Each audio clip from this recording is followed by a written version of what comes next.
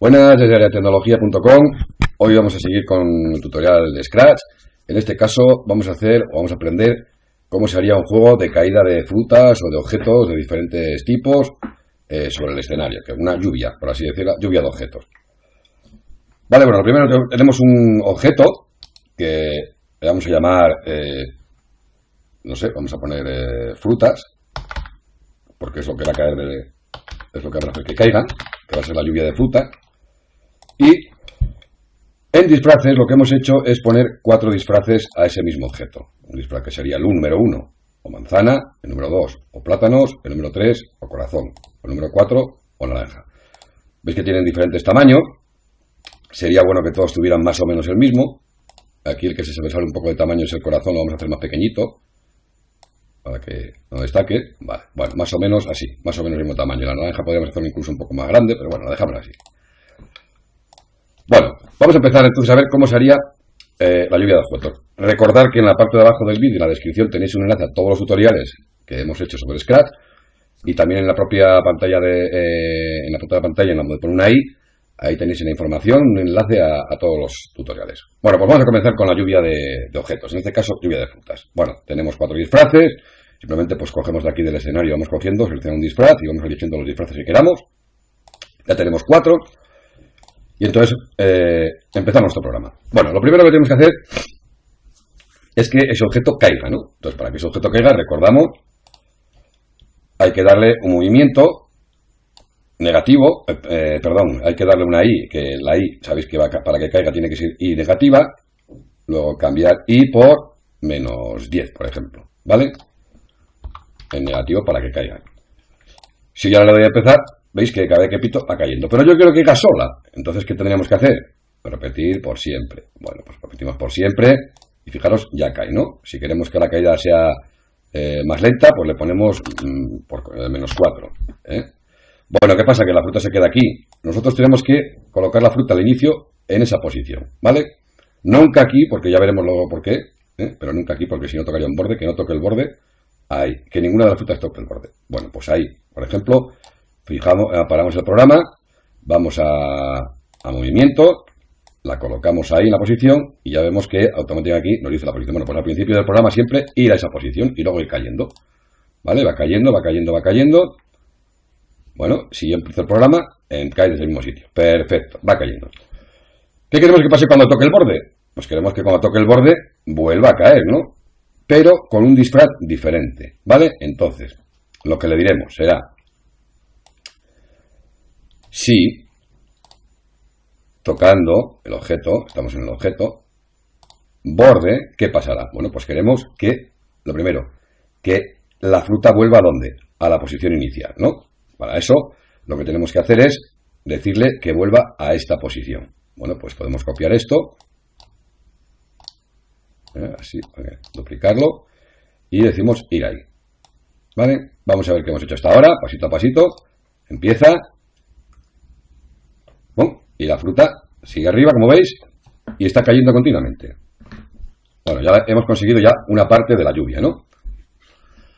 Pero queremos que no solamente salga una naranja, como veis aquí, queremos que salgan frutas variadas. Entonces, ¿qué le tendríamos que decir? Que cambie la apariencia cuando toque el borde.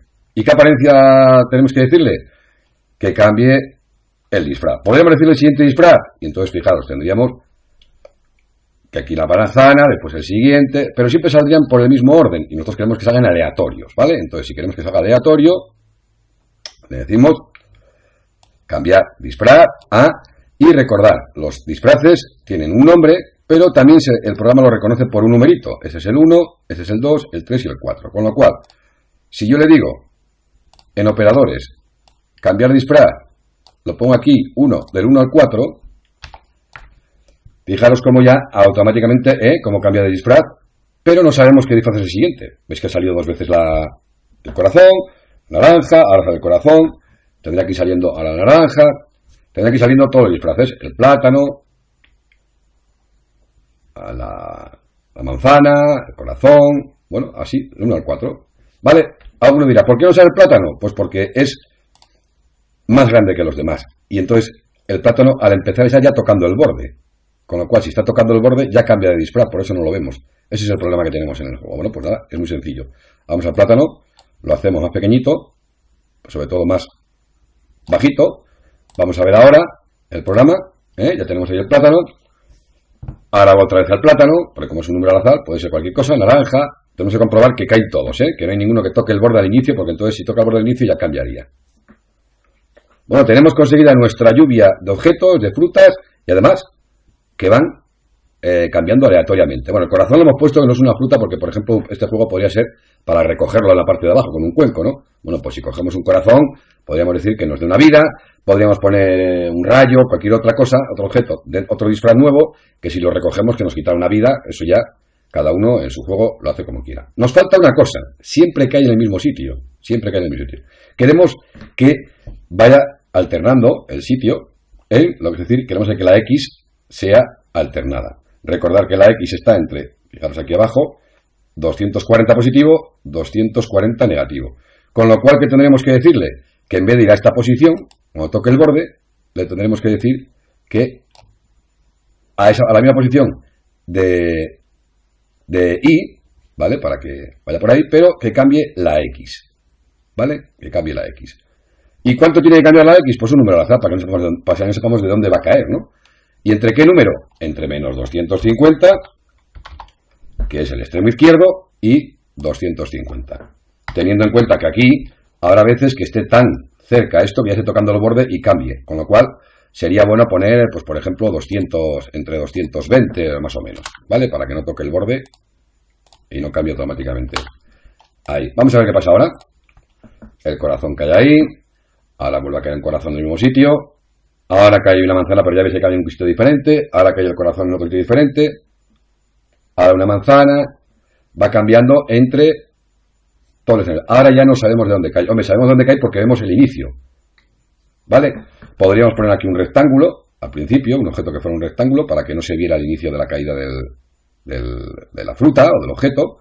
Y bueno, pues tendríamos un juego perfectamente operativo de lluvia de objetos con diferentes objetos al azar, que caían al azar en el eje de las X y en el eje de las Y, pues eso, siempre el mismo, ¿no? Porque tenemos que tener siempre que caiga hacia abajo, ¿vale? Menos Bueno, creo que es bastante sencillo de hacer el juego, se entiende bastante bien y creo que es muy mejorable porque se pueden poner, como digo, un cuenco, el escenario, diferentes objetos. Bueno, se puede hacer un juego muy bueno con esto de lluvias. Puede ser lluvias de objetos, lluvias de letras, lluvias de números, lo que queráis. El caso es que tengáis la técnica para hacer la lluvia y que caiga de forma aleatoria y que caigan por todo el eje de las X. ¿Vale? Venga, nos vemos.